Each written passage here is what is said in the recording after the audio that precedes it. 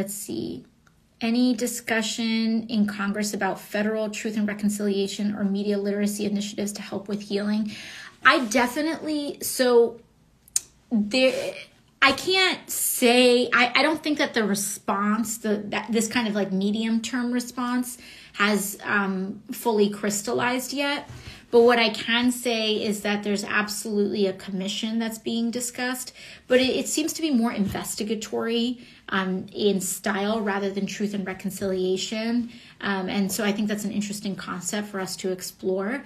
Um, and, you know, I do think that uh, several members of Congress in some of my discussions have brought up uh, media literacy because that is a part of what happened here.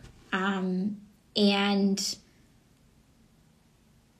we're going to have to figure out how we rein in our media environment so that you can't just spew disinformation and misinformation. It's one thing to have differing opinions, but um, it's another thing entirely to just say things that are false. Um, and so that's something that we're looking into.